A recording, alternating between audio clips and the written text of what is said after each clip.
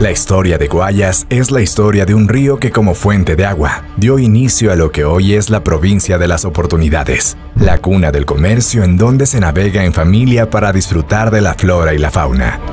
El 27 de agosto de 1945, la Asamblea Nacional constituyó el Comité Ejecutivo de Vialidad del Guayas.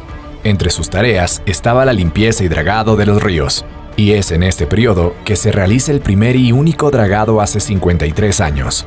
Sin embargo, en 1970, durante la dictadura, se decretó la extinción de este comité y se traspasa la competencia a la prefectura, sin recursos.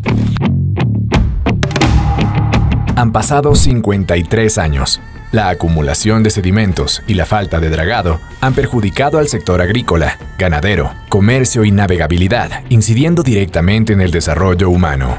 Esto es pura agua, esto es la cuenca más baja que tiene Daule. Esto se va a pique con un aguacero y sube el río una vara, ya está la zona inundada enseguida. El río ya está en SOS, que lo ayuden. El río es la vida, el acceso del agua potable, el acceso a la carretera. Entonces para nosotros es, es lo máximo, el río es el 100%.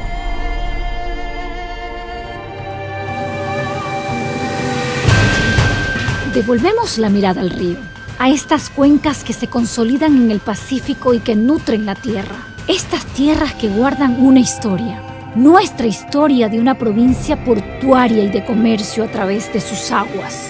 Dragar el río Guayas, más que una obra, es una ofrenda de amor a la ruralidad, al rostro de mujeres y hombres, al olor a tierra húmeda, a siembra, a cosecha, a riqueza y abundancia.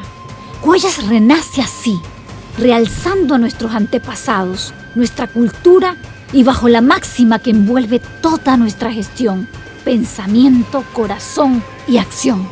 Hoy damos inicio al proceso del dragado, obra necesaria y emblemática, no solo para Guayas, sino para el Ecuador entero. Guayas para el mundo y el mundo en Guayas en su dragado.